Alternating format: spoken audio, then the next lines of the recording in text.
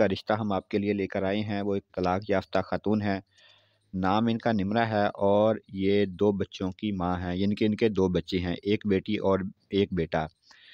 दोस्तों, निमरा का कहना है कि मैं उस शख्स से शादी करूँगी जो मेरे दोनों बच्चों को अडॉप्ट करेगा, यानी कि शादी के बाद भी मुझे अपने पास रखने की इजाज़त देगा।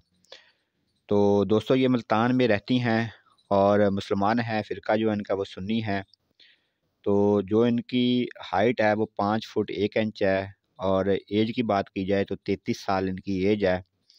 देखने में खूबसूरत हैं, रंग इनका वाइट है और हाइट इनकी पाँच फुट एक इंच। तो जो फ़िज़िकल स्टेटस है इनका वो स्लिम है और रंग इनका गोरा है, नक्शनैन माशाल्लाह से काफ़ी प्यारे हैं इनके। तो मुसलमान हैं, फ़िरका जो है इनका वो सुन्नी है और जो इनकी मादरी ज़बान है वो उर्दू है।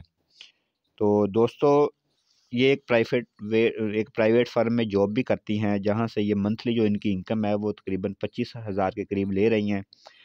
एजुकेशन इनकी बीए है और इनकी जो रिक्वायरमेंट है, वो मैं आपको बता देता हूँ।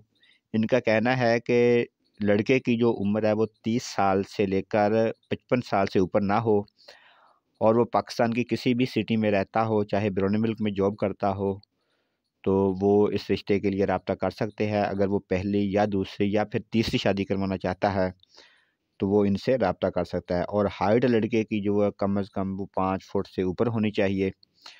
तो देखने में खूबसूरत हो, अच्छे लोग हों, ख़ानदानी हों तो ये उनसे शादी कर लेंगी। दोस्तों, उम्मीद आज का रिश्ता आपको पसंद आएगा रिश्ता पसंद है तो वीडियो को लाइक कर दें। तो जिस भाई के नसीब में ये रिश्ता हुआ, उम्मीद है उनके लिए ज़रूर खुशियाँ लाएगा लाएगा। इसी के लिए हमें इजाज़त दें। अल्लाह हाफ़िज़।